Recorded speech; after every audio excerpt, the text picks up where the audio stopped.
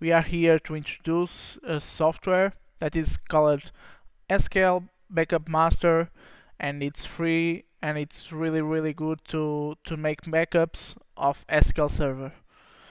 I will try to to explain the maximum that I can. This is my channel. You can visit and see all all the other videos. I have some Portuguese videos and I'm trying to, to do some English videos too, so you can find it here.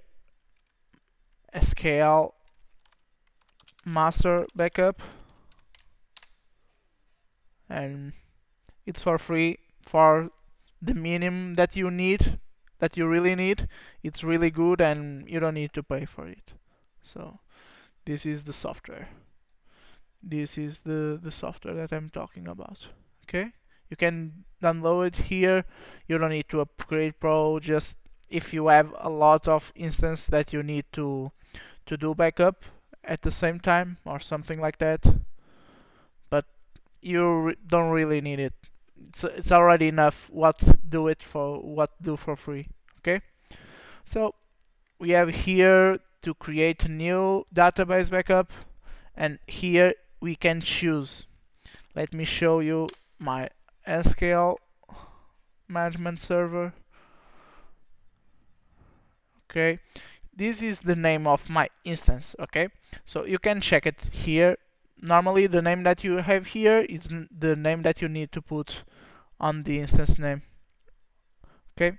So I can connect here and here I can choose the SQL server instance and here I can choose local something like that but I can really write the name of my instance okay? I can use connect using Windows authentic authentication. Normally this works like the um, the authentication on the SQL server. It's exactly the same thing. You can connect on authentication Windows authentication or you can choose SQL server authentication. It's it's really the same thing. It's not the same thing. It's better if you use this because no matter where you are doing the backups you will have access. If you are using connecting using what uh, Windows authentication you really need to be sure that your account have the permissions on SQL server. So I advise you to use this okay? I'm here you need to put your username and password and you click OK. Here you can see all the database that you have in your instance. You can mark the instance that you want, okay? The database that you need or something. Okay, so you need to check them and add. Add here you need to add your location. This is where is going the the backups so you can choose a network folder you can choose the Dropbox and FTP server you can choose this but you if you want to use Google Drive or Boxbox, Amazon S3, Azure Storage, you need to a, prof a professional license or you need to uh, the standard. For free, you can do this. It's already good. Okay, so here you can choose your location you can choose the drive or something or let me check if I have another. Yeah. You can create a, a new folder. Create a new folder call it backup and go here and okay.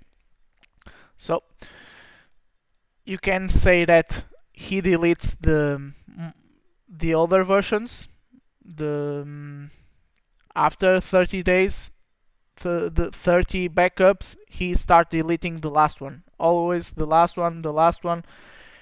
I can always put here older than 10 days okay? So I do one each day so it's it's already good 10 but you can put th 30 it's as you want okay so you can choose your username or password the of the your network. If you are in the network you sometimes you don't have authentication or if you don't have access to this you need to put your username or password. But as I'm local I'm on my own computer I don't need this okay? So I need just to put this and here I can save it. And if I do a backup it's already three databases. This job never has run before so let's do it backup. Backing up. If I go to the E drive if I go to the E drive to the folder backup I don't have nothing. I'm still waiting. So let's let's wait.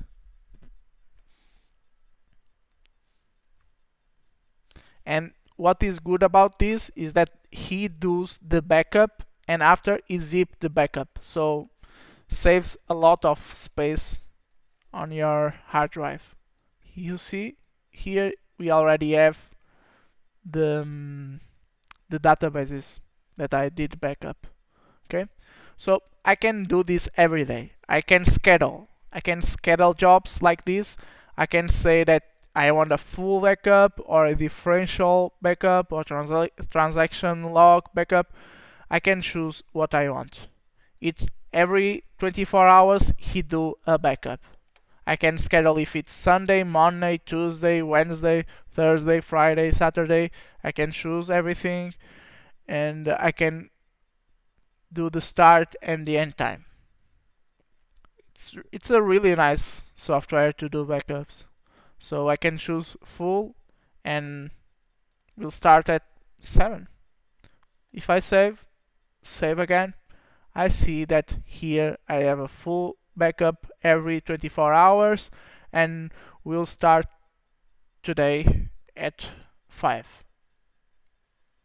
5 p.m. okay and I can do recovers I can here and choose my destination of the backups and do a recover or delete I can do whatever I want.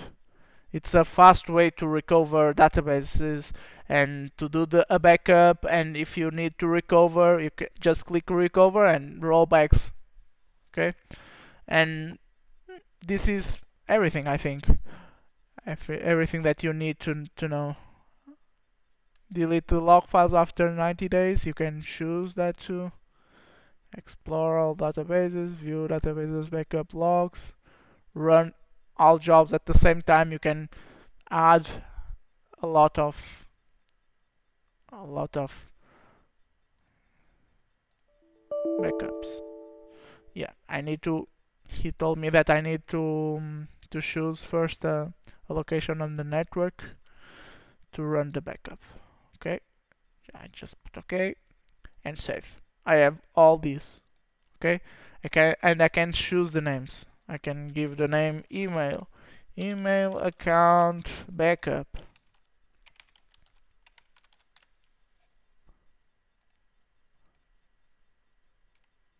And there is the name okay? I hope that you enjoyed this video. I hope to see some comments about it. And if you want um, some software or if you need some software you can ask me I can search for it and I can do a video like this teaching you or telling you the, the, the advantage of using that software for what you want.